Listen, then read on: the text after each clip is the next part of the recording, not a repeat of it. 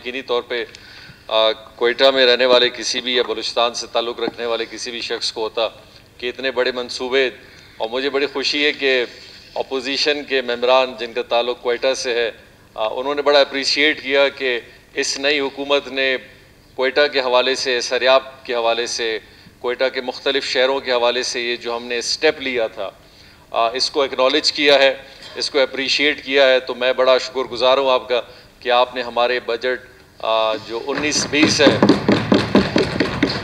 اس کے اندر جو ہم نے آپ کے شہر کے لیے پروگرام رکھے ہیں، اس کو آپ نے سراہا ہے اور اس میں انٹرسٹ بھی شو کیا ہے۔ جہاں تک اس کی تفصیل کی بات ہے کہ یہ ٹینڈر کینسل نہیں ہوئے، چونکہ یہ کوئٹہ کا ایک بہت بڑا پروجیکٹ ہے، جس نے کوئٹہ شہر کو کھولنا ہے۔ اور یہ انشاءاللہ میرا خیال بلوچستان کی ہسٹری میں انشاءاللہ جب یہ روڈز بنیں گے یہ پہلی دفعہ ہوگا کہ بلوچستان کے کیپٹل شہر کے اندر ہم وہ پروگرام دیکھیں گے جو شاید ماضی میں چالیس پچاس سال میں بھی کوئٹہ کے لیے نہیں ہو سکا۔ لیکن ہم ہر چیز بہت حجت میں بھی نہیں کرنا چاہتے ہیں کہ ایک پلان ایسا بنے جو اپنے صحیح پلاننگ اسٹریٹجی کے ساتھ امپلیمنٹ بھی ہو سکے۔ اس کے لیے اسی لیے ہم نے پری کوالیفیکیشنز کا ایک طریقہ کار بنایا کہ کوئٹہ پیکج کے اندر ہم یہ کام ان فرم سے کروائیں جن کی ایکسپرٹیز جن کی کیپیسٹی جن کا ایک کام کرنے کا طریقہ ہے، یہ بھی انہی کرائٹیریاز پہ پورا ہو جہاں ان کے پاس یہ سپیس بھی ہو اور یہ کام کو صحیح طریقے سے بھی کر سکیں۔ اس کرائٹیریا کے اندر چند ایسی چیزیں تھیں جن پہ بلوچستان کے خاص کر ہمارے بہت سارے ایسے لوگ ہیں جنہوں نے یہ بات کی کہ جی ہم سمجھتے ہیں چونکہ اس میں سب سے بڑا جو پروجیکٹ ہے وہ سات ارب کا ہے۔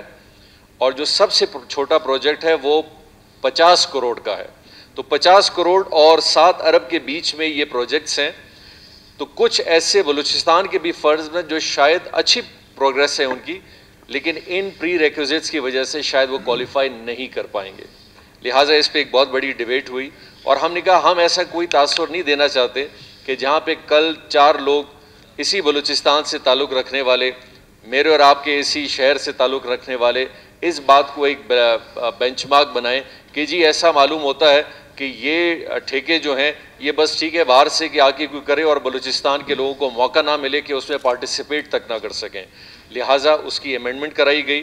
اس امینڈمنٹ کو ابھی انشاءاللہ اخبار میں ہم پھر دے رہے ہیں۔ آپ دیکھیں گے چند دنوں میں انشاءاللہ وہ آ جائے گی۔ یہ بالکل منسوخ نہیں ہے۔ یہ انشاءاللہ کام بھی ہوں گے۔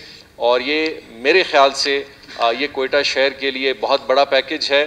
اس کا بینیفٹ اس حوالے سے یقینی طور پہ حکومت اپنے سرے لے گی کہ ہم نے اس کو انیشیٹ کیا ہے، لیکن اس کا فائدہ ہم سب کو ملے گا۔ آپ کو ملے گا، مجھے ملے گا، میں، آپ، آج حکومت کا حصہ ہیں۔ کل شاید ایم پی اے بھی نہ بنے، اس ہال میں بھی نہ ہو لیکن اس شہر سے ہماری وابستگی ہے۔ اور کل کو اس شہر کی سہولت، اس کے روڈ، اس کی فیسلٹیز اچھی ہوں گی، تو یقینی طور پہ اس کا فائدہ ایک عام آدمی سے لے کے بلوچستان کے ہر اس شخص کو ملے گا جو یہاں پہ موجود ہے۔ تو آپ اس بات کی تسلی رکھیں کہ انشاءاللہ یہ پروجیکٹ ہوگا، بلکہ ساتھ ساتھ میں آپ کو یہ بتاتے چلوں، سریاب اور کچھ لاکھ میں جو ایک سپورٹس کمپلیکس کا بھی ہمارا ارادہ ہے جس پہ تھوڑی دن پہلے میرے خیال شاید کوئی بات ہوئی تھی، اس میں بھی ہم کوئی ایسا سٹیپ نہیں لینا چاہتے ہیں کہ ہم ان پروجیکٹس کو صرف اخبار میں ٹینڈر کرا دیں اور بعد میں اس کی پیچیدگیاں نکلتی آئیں۔